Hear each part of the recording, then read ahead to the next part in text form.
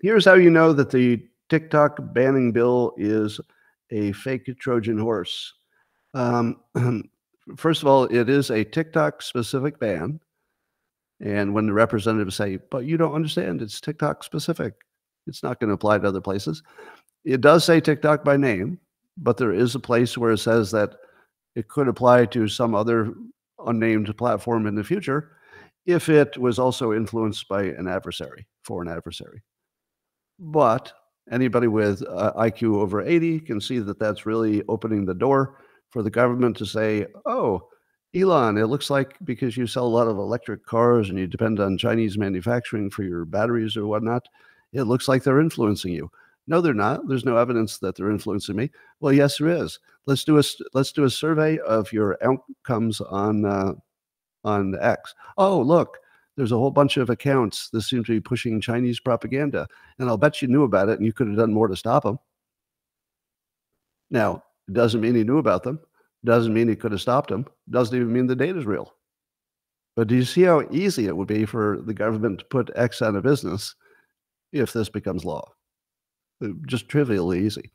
Now, I know what you're going to say, but but but the lawyers and smart people have looked at that language and they've said, no, that that language couldn't be abused. Take it out. Just take it out. There's your tell. The fact that that language is a problem and it would be as easy as lining it out with a pencil to get rid of the, the problematic part. Because if you just make it about TikTok, you've got wide agreement. If you if you throw in that Trojan horse part, you don't. So why won't they take it out? There's only one reason it's in there. it's either intentionally to kill the bill, in other words, it's a poison pill, or if it got approved, it would be a way to take out X. What, do you know why this got bipartisan support? Let me tell you. Because the Republicans are apparently fucking stupid. Sorry. And the Democrats are trying to sneak one past the keeper. That's what it looks like to me. So the Democrats said yes because they know it's a trick. And the Republicans said yes because they don't know it's a trick. I think that's the story. Because you can see the Republicans talking about it like they don't know it's a trick. That's what it looks like. So I can't think of any other reason you can get 100% bipartisan support unless one side knew it was a trick. That's the only way you can do it. and sure enough, here's the other. Uh, so the two tells that this is not genuine is one that they put that they put any language in there that would apply to another American company down the road. The fact that that's in there at all tells you something, doesn't it?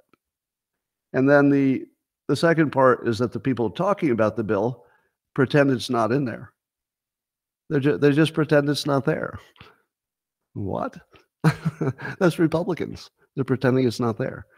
So they're either in on it or they haven't read it or they're working with the intelligence people to get control of the platform. And uh, everything the Republicans who are for it and against it are saying doesn't appear to be true or smart or typical to their own past. In other words, we're seeing very clearly very smart people doing things that are either un- sound uninformed or dumb.